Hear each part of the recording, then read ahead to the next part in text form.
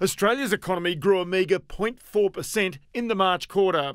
Annual growth is just 1.8%, a far cry from the 3% plus we were growing at this time last year. So we do face some headwinds, domestic and international. This is the weakest growth through the year since the global financial crisis. It might be weak, but our 27 year economic record without a recession continues. The Bureau of Statistics shows we're collectively spending less on cigarettes, alcohol, cars, and furniture, but more on electricity, gas, food, and communications like internet, pay TV, and mobile phones. So more on essentials and less on the discretionary.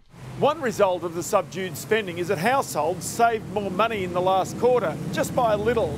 But this reverses a three year trend where households have been saving less, not only to pay their bills, but also to maintain their lifestyle.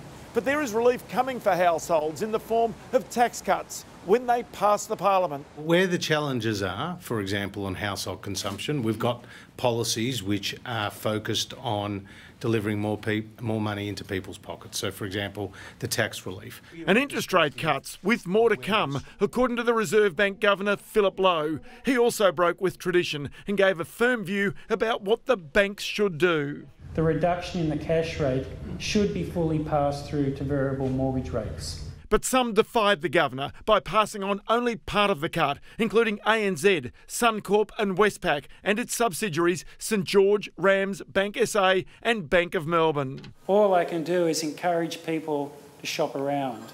Another first from a Reserve Bank governor. Ross Greenwood, 9 News.